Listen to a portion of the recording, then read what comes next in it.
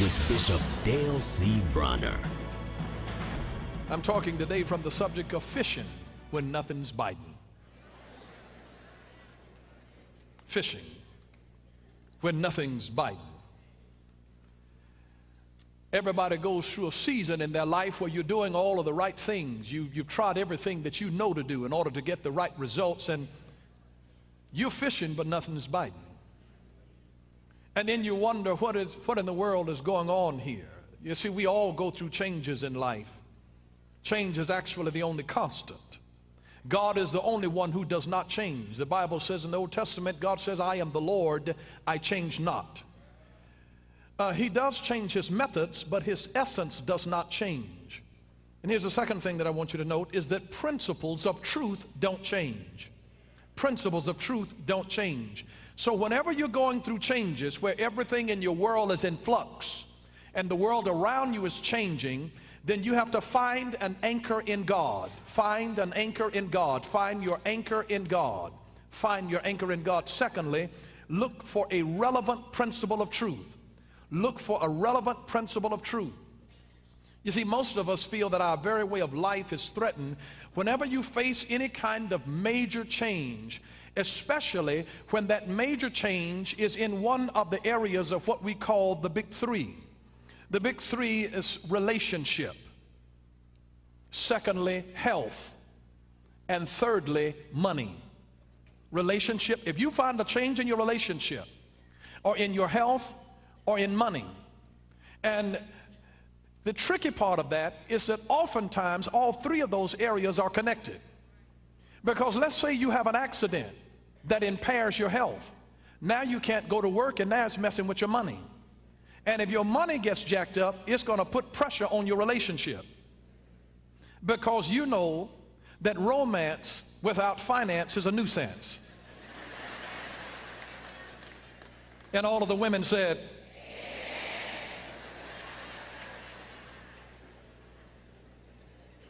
You see, if one of these areas in your life is changing, it can be very challenging. Now, this is a time that I want you to realize that it's when you are experiencing uh, something that is dealing with collapse in your life or calamity or catastrophe in your life, it's when these things uh, are happening that I want you to realize that these are the outward effects of a single cause called change where something is no longer the way that it was before.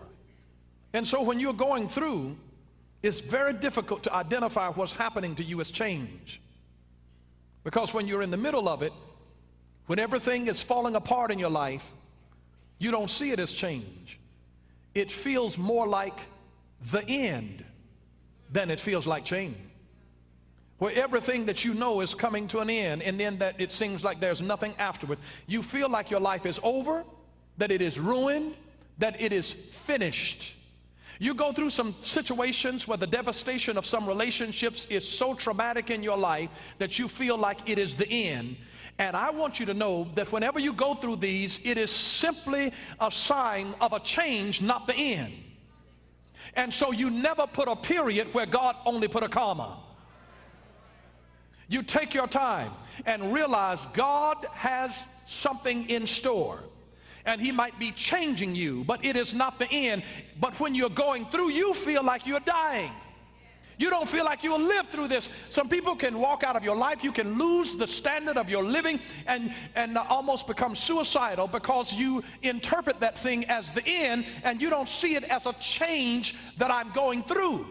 When you realize I am going through change, it means that I am going to come out on the other side. I, am never in trouble, I'm only going through trouble. When I say it that way, it is uh, an indication of my faith that I already believe that this is not going to last forever. Even the longest day has an end. And I'm only going through this for a season. I'm going to get through it. It feels like it's the end. It feels like my life is over now. It is not the end. Touch your neighbor, say it's not the end. When everything changes, listen to me carefully. When everything changes, when everything seems to change in your life, now stop and change everything. That's a thought. When everything changes, stop and change everything. Stop and change everything. It is a fool to keep on doing uh, the same old thing and expecting a different result every time. That's foolishness to be doing the same old thing. Wouldn't it have been stupid of Elijah the prophet to continue to stay there and wait for ravens to bring him bread in the morning and flesh in the morning and then bread and flesh in the evening after the brook had dried up? Just sitting there waiting for the, uh, some water to mysteriously come up out of the ground. That would have been foolish. He realized this is not the end, this is the time for change. And when life and comfort as you know it changes, or ends, it is God's way of saying that, listen, every time that you're in something and there's an end to one relationship, there's an end to one job, it means here's a doorway to another one. It means that God is saying, I'm getting ready to do something different in your life. I'm going to change what you've been experiencing. I am going to change it. If you've been through a drought where you have been fishing all night long and nothing is biting, you've been trying to stay safe and said, Lord, you know what? I'm trying to do this thing right. And the devil will come to you with all kinds of thinking and first make you start blaming God, and then he'll make you start blaming the principles as if to say, it does not pay to do right because I've been doing right and I'm still struggling. Anybody ever been there to feel like I've been trying to do what I know to do? I've been trying to give my tithes. I've been trying to pray and to read my Bible, and I'm still having a hard time. I still don't have the kind of employment that I feel like I deserve. And it'll make you think that something is wrong with the process and that something is wrong with you and that you need to change it. And I'm just here to tell you that some of this is a manifestation of sin in our lives. Because the church, the church, I'm not even talking about the world, the church has developed too much of a carelessness in our attitude towards sin. Sin still stinks in the nostrils of the living God. God is fed up, he's offended by sin. And the church, who's become callous with sin because we've seen other people uh, do things that are wrong. Are you listening? And it seems as though they got away with it and like they're being blessed and they cheated and they lied and they're getting away with it and we're over here trying to do this thing legitimately and trying to be pleasing to God and we're struggling and having a hard time and they're big balling. May I remind you here of the word of the Lord. When it looks like those that are tares in the world are growing up and prospering, that the wheat and the tare grow up together. And so when God is blessing you and it looks like he's also blessing them, the wheat looks just like the tare, but the tare is hollow on the inside. They don't have anything on the inside. We've got something so strong on the inside. You are not what you look like. They don't have the heaviness of the weight of God's glory.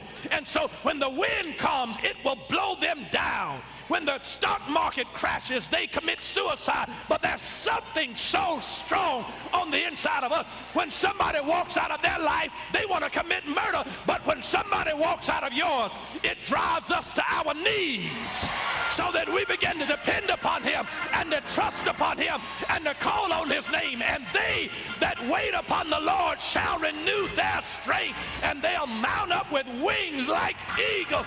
We don't ever give up. You might look like the same, but I declare to you that if we don't deal with our attitude of carelessness towards sin, it will lead us to calamity.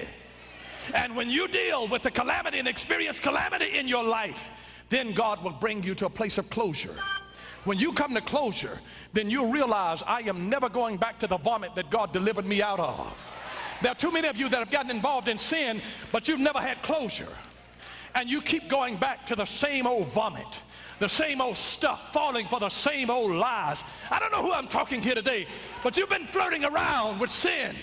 Your attitude has become callous and you're callous in it, but it will lead you to a road called destruction. I'm only telling this not because I'm angry with you, but because I love you. And I want you to know that sin, any way you define it, any way you dress it up, even if they legalize sin, it is still sin. Call it something else, but it still stinks to God. And God is looking for people that will have a standard of righteousness and character and integrity in their hearts who, even if they lose everything, will refuse to curse God,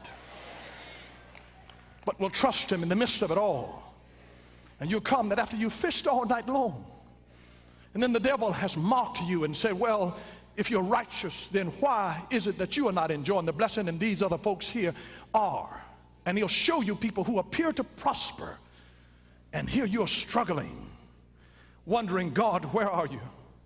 Here I am in my boat trying to do things legitimately, and I'm out here suffering. I'm suffering. I'm fishing. I'm trying to do what I know to do, but nothing is biting. I need help, God. And you come to that place and you're wondering, God, what do I do? Where do I go? What's my next step?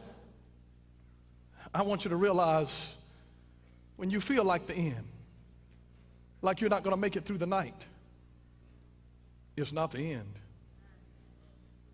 All is well in the end. And if all is not well, it's not the end. Whatever you do, don't stop. Just change. Don't stop. Just change. You have to sometimes change your words. You have to sometimes change your perspective. You have to sometimes change your attitude, change your mindset. Sometimes you have to change your environment. Sometimes you have to change your partners. Sometimes you simply have to change your pace because you expected it to happen too fast and you were running life like you had to get it done overnight. Life is not a sprint. You run full speed with a sprint. You don't run full speed with a marathon. God's trying to give you a lifestyle. You can't run a lifestyle full speed, blasted wide open with everything that you've got. You'll run out and burn out too quickly. You have to pace yourself for the journey. I've been on the journey long enough to know you can't run full speed. I started out full speed until I found myself sitting on the curb hyperventilating. And I realized that I had to be able to create a pace, a cadence in life that I can maintain.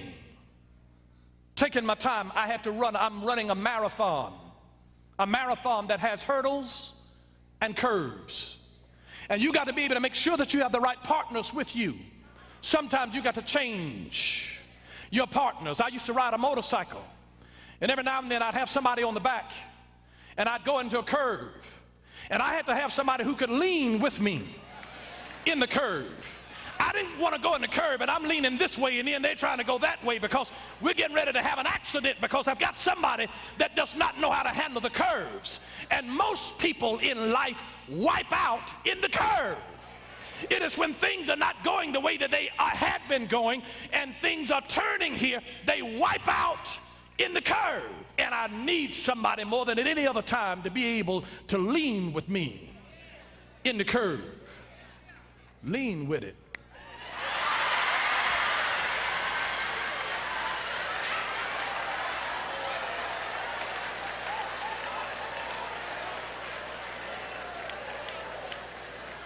Whatever you do, don't stop. Just lean with it, rock with it, but don't stop. And I declare to you that when you are busy rowing the boat, you don't have time to rock it. Row, row, row your boat gently down the stream. Merrily, merrily. You know it. How do you turn a football team around that's on a losing streak? You change the head coach, the game plan, the strategy. Sometimes a few of the key players, you change their image, their mindset, the way they view themselves, their attitude. You change their habits. Winning is a habit. It's a habit. Change their habits. You notice here in Luke chapter 5 and verse 2, they saw two boats standing by the lake. Standing by the lake. Standing boats don't make any money. You have folk just standing around, they don't make any money. They were standing by the lake. The provisions were in the lake, and they were standing by the place of blessing. Sometimes you are so close when you think you are so far.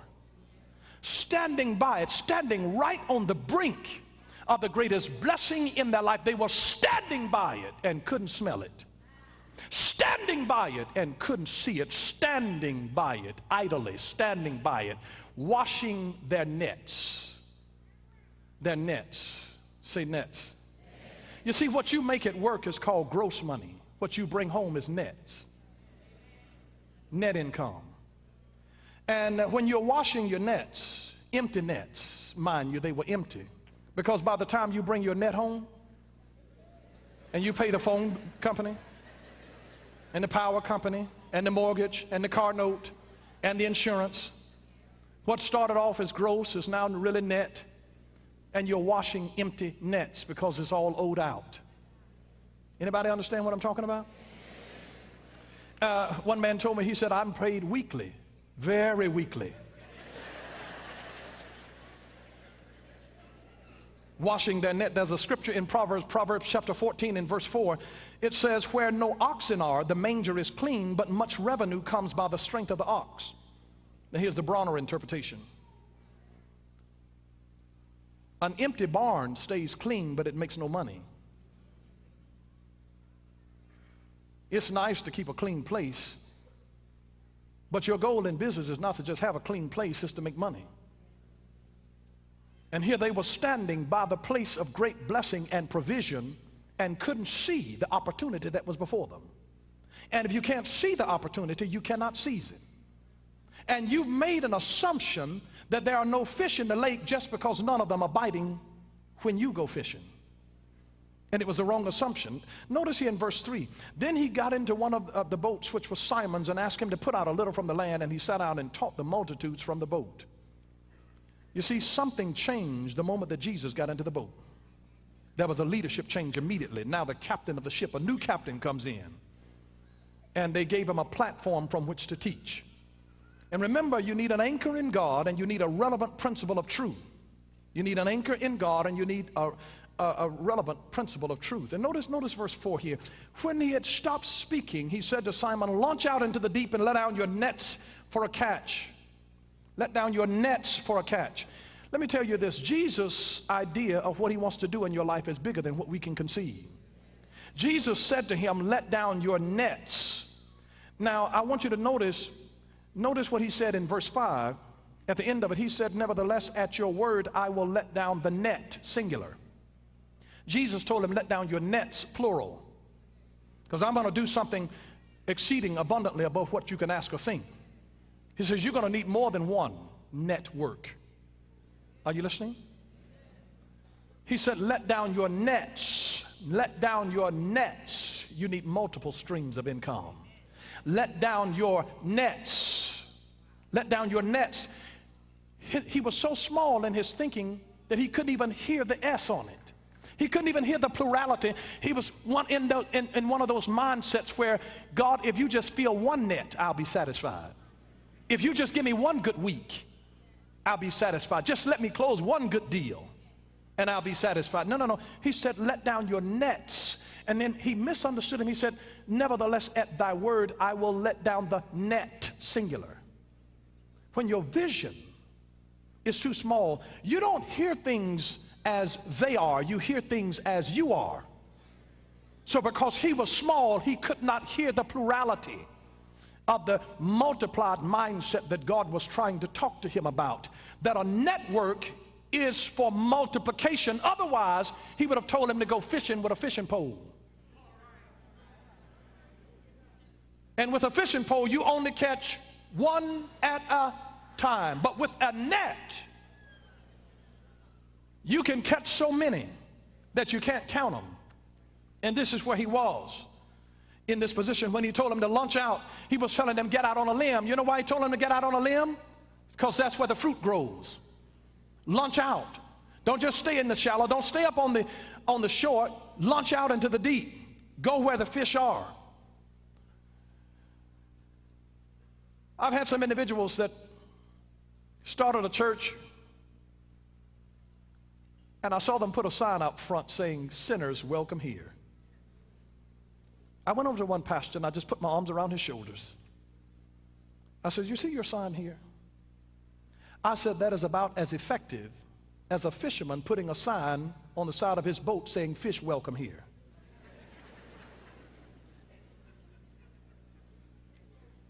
I said, You have to launch out. You have to launch out. They may not just come to you, you launch out to them. Launch out. Get out on the limb. Go to where the fruit is. Go to where they hang out. Go to where they fellowship. Go to where they work. Go to where they live. He, he was saying to them, in other words, get into position. There's something that God cannot do until you get into position. You're asking him to do something and you're saying, you know, God, come on, give me the birth. And you're not in position yet. You see, a woman can't start pushing even though she's in labor and having pain. She can't start pushing just because she starts hurting. She has to start pushing because she's gotten into position, because uh, she has fully dilated and she is 100% effaced. Then it's time to push. If you push otherwise, you will cause the cervix to swell and you'll impede the process and then you'll end up having to have a cesarean. So you cannot get the blessing of a birthing that comes from God until you first get into position. That's all he was saying. Launch out, get into position. When he says get into position, he's saying retool yourself. Retool yourself. You retool yourself by reschooling yourself. Because we cannot fight today's war with yesterday's weapons.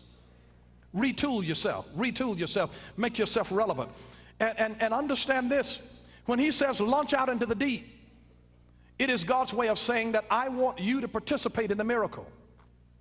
He could have made the fish just leap right into the boat, but he didn't because he said, I want you to participate in this miracle.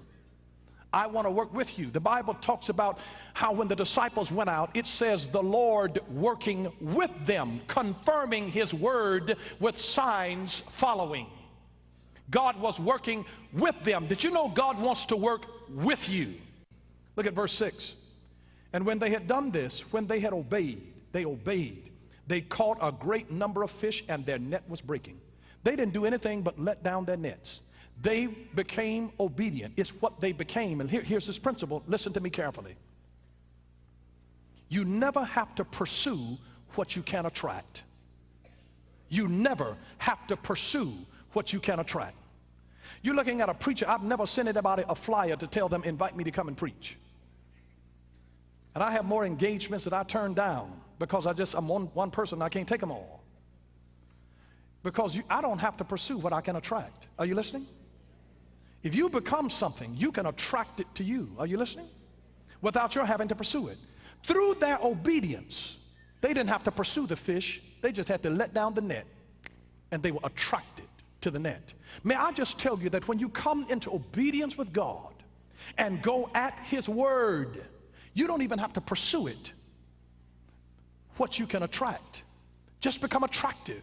And you can attract people because of the positiveness of Jesus' spirit. He attracted people to him. Everywhere he went, multitudes came after. He didn't go after people looking after them. They start coming, the multitudes followed him because he had something in him. He put worth and value in himself. You'll attract people to you. I never had to push my way and finagle my way and ask this and do that. I simply asked God, God, make me a blessing. That's the only prayer that I've ever prayed concerning myself. God, make me a blessing. I never prayed, God bless me. And, and it's all right if you pray, God bless me. I, I'm not trying to say that there's anything wrong with that. It's, if you need to be blessed, ask Him to bless you. But what I realized that if I ask God to make me a blessing, that He had to bless me so that I could bless others. And so I just prayed the prayer, God, make me a blessing. Make me a blessing. And guess what? People who needed the blessing that was in me began to be attracted to me. Because God was like, I, I know what answers I have put in this person. And so, guess what? I attracted people to me that had the questions that I had the answer to. And it was God's Spirit, it was a miracle of His Spirit that began to doing the attraction. And so, you never have to pursue what you can attract. If people realize that there's healing in your life, sick people will be attracted to you. If there is joy in your life, sad, depressed people will be attracted to you. If lonely people are in your life and you're gregarious, then lonely people will be attracted to you. You'll be surprised how you can attract better than what you can pursue by what you become. And I just want you to see that there is a process in God that when the fish are not biting. Let me give you these six things quickly. When nothing is biting, number one, pray, pray. Pray like it's going out of style. Pray, pray, pray, pray. Pray, pray, pray. Pray like it's all left up to God and then work like it's all left up to you. Pray. Number two, learn. Learn everything you can. Reposition yourself. Retool yourself with relevant tools. Retool yourself. Learn, learn, learn, learn. Number three, think. You got to learn something before you start thinking because the learning will broaden your thinking. You cannot think beyond your exposure. So you have to learn something before you start the thinking. And then as a man thinketh, so is he. You want to change your life, change your thinking. Number four, dream, dream, dream, dream a new dream. I mean, if there was something that you could do and you realized that you could not fail at doing it, what would it look like? Start dreaming. When was the last time that you believed God honestly for something that seemed impossible to you? When was the last time you had a dream? And you can tell a God given dream because it'll cost more than what you can afford. It'll need more people than what you have the resources for. When was the last time that you really dreamed a God dream?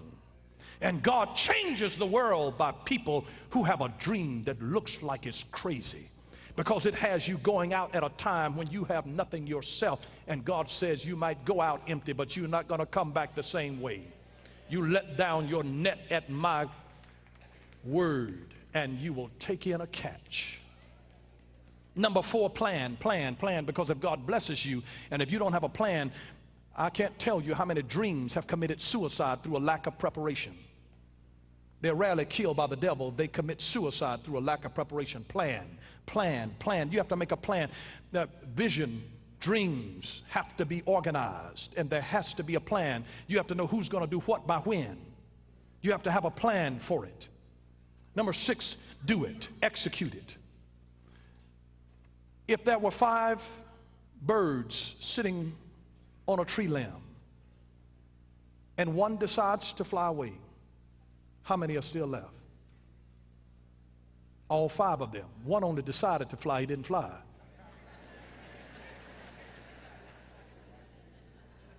And you'll be surprised at people that dream and they plan and they dream and they plan and they dream and they plan and they never jump and they never launch and they never execute and they never do and God can only bless what you are willing to do. He can only bless what you're willing to do. He can only bless what you're willing to do. Thank you for watching Power for Living with Bishop Dale C. Bronner. Until next time, God bless you.